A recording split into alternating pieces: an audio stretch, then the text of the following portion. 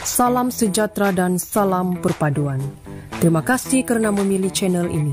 Jangan lupa tekan subscribe dan tekan tombol lonceng untuk mengikuti info terkini.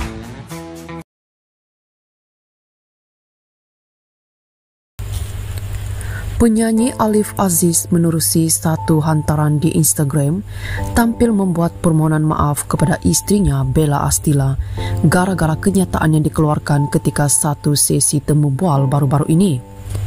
Tulis Alif dia langsung tidak mempunyai niat untuk menyakiti hati Bella dan memohon maaf jika ia telah mengguris hatinya.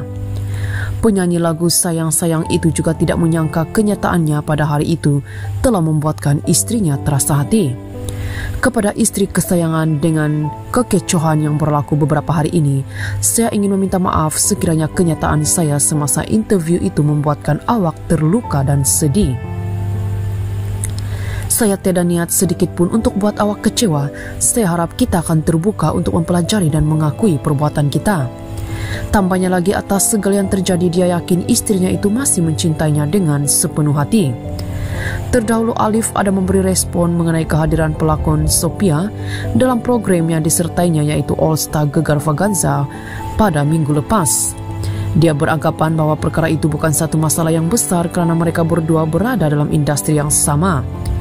Bella kemudiannya tampil mengkritik kenyataan Alif yang dianggap seperti menjaga hati aktris itu.